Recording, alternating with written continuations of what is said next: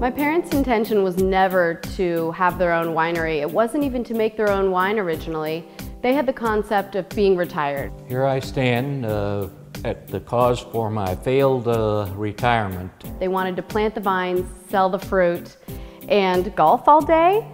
And progressively, they lost their minds. It was a case of progressive insanity. I mean, mom and dad will say progressive insanity.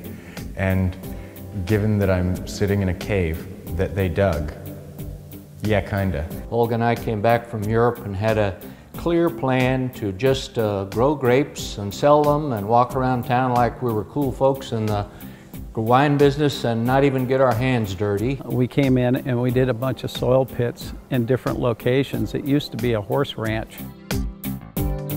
As we progressed down the hill, we found that there were several different soil types and because of those different soil types, we could plant different rootstocks, which would really help with Celia when she did her final blends. And then Jim Barbour, our vineyard manager, uh, in 2002 convinced us we were never going to be happy if we didn't make wine. He peer pressured him.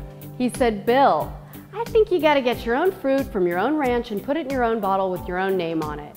If you don't, I'm happy to buy it from you and then, well, you'll be spending 100 bucks on my wine. Our first vintage was 2002. We made a whopping 46 cases. A few years later, we decided we had had some commercial success and uh, had nice ratings. We decided we should have total control over the process, and so we built this winery and dug this cave. Yeah, I do feel somewhat responsible for his failed retirement. Now it is a failed retirement. We're not retired, we're just tired. He recommended Celia, which was a very large turning point for us, clearly. Celia has one of the best palates I, I, I, have ever experienced. Beautiful site, great people, obviously really interested in uh, doing exactly what I enjoy doing best, and that is aiming for the stars and producing a really fabulous, very unique, um, individualized Cabernet Sauvignon out of this really special site. We think it's really important to do everything exactly as it ought to be done. We're total control freaks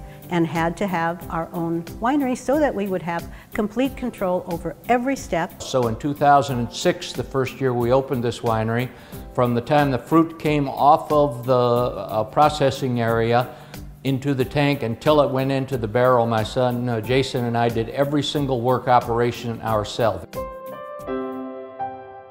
We lived in Europe for 10 years, nine years in Germany and one year in The Hague before coming home. Living in Europe really brought us close together. We're a very tight-knit family. There was just the four of us, so we had no extended family. Every evening we'd all sit around the dinner table and no TV, no nothing. We would sit and we would talk. Being in a foreign country where you don't know a lot of people and English was our native language, eh, we became very, very close. My daughter used to come here for the first 10 months of her life. The first months of her life were spent in the office.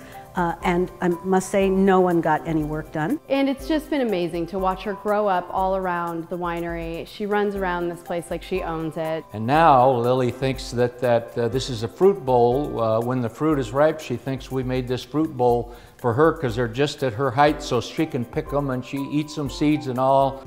We're more than just family now. It's really a wonderful thing.